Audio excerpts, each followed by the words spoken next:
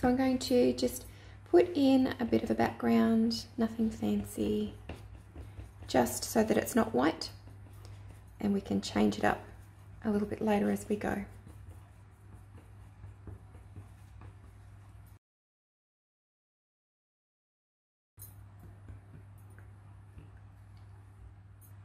So now that it's all dry, I've just dried it off with a hairdryer.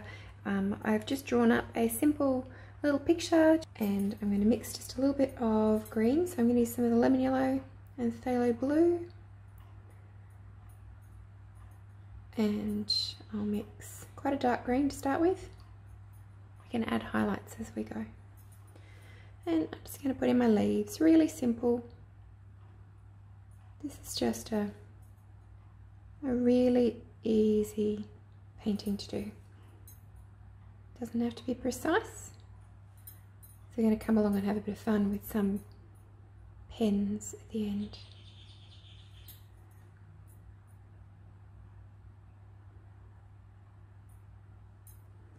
A little bit of water just to loosen that up a bit.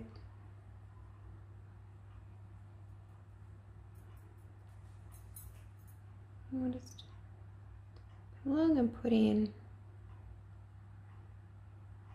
the stem of our stick.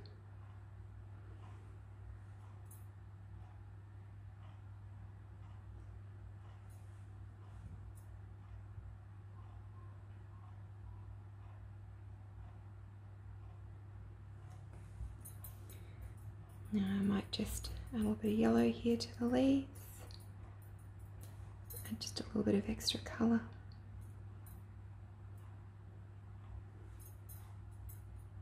Just nice and quick and simple. Maybe too pedantic over it. Might do, well, I'm going to a purple bird.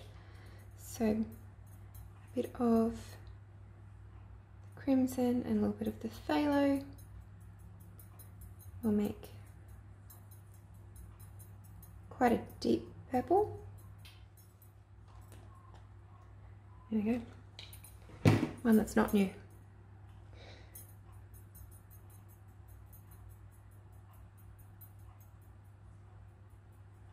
And again, still want it to be quite dark. And we'll just start putting in our little bird shape.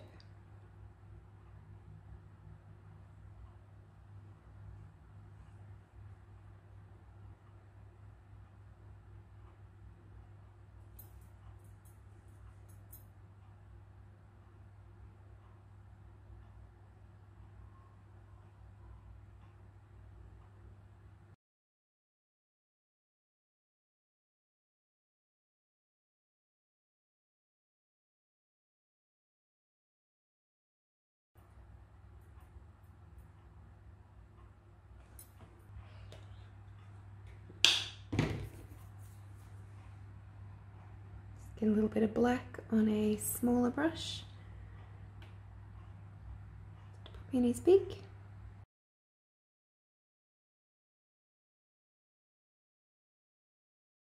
So we'll mix just a little bit of um, the three colours together to create a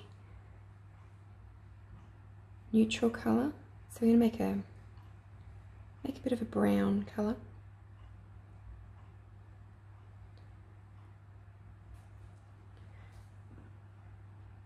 And we'll add just a little bit of this to our stalk.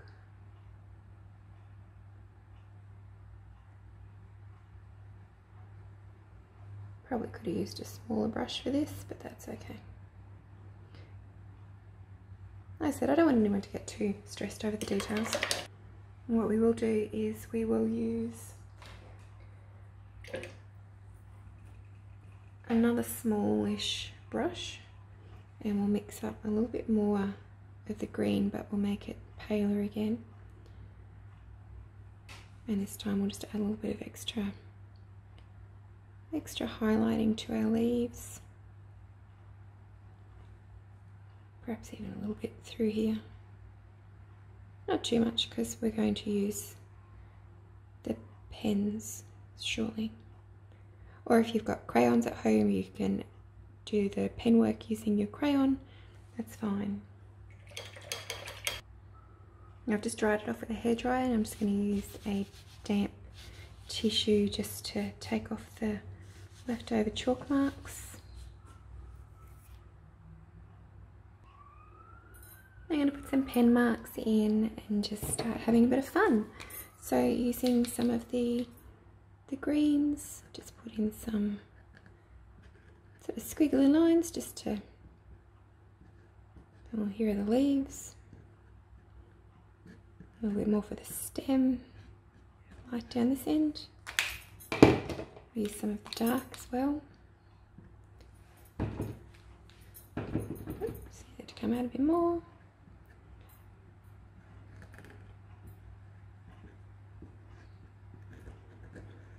The idea is not to be too neat.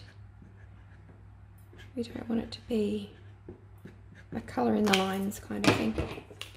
Some of the yellow, because we've got a bit of highlight going on here. So we'll continue that.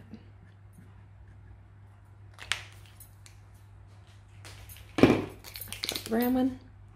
And we're going to add just bits of brown into our stem here. we get some white because this is the one that makes it all just pop. I just want to, nothing too precise.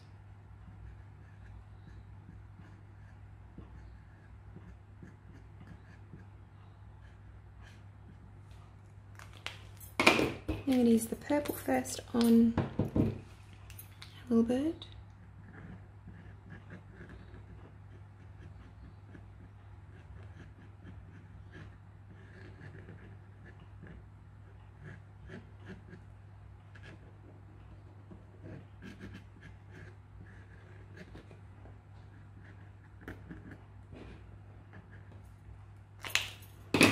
Use the black for his eye.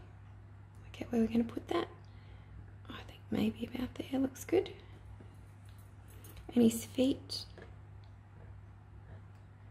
We want to have just a, a little bit of something that suggests he's got feet underneath him. We need this to dry off just a smudge. So now that's dried off a little bit, we'll put just a little touch of highlight on parts of our bird. Just make him stand out just a little bit. A little bit across his beak. A little bit on his eye. That's looking good. Maybe just a touch on his feet. Don't too much. And add a little bit of something else to the to his wings, just as a bit of interest. Oh, there we go. Yeah, just a slight change of plan can make you all happy. Again, this is just a nice, simple little little ditty. And then we're going to paint in our background. So just painting in the negative space. So once again using a bit of leftover paint and we'll just start to paint around the picture. Don't take away too many of your lines. It's alright if you get some of them. Your brush is still a bit wet like mine is, just dry it off. Pick up a bit more paint.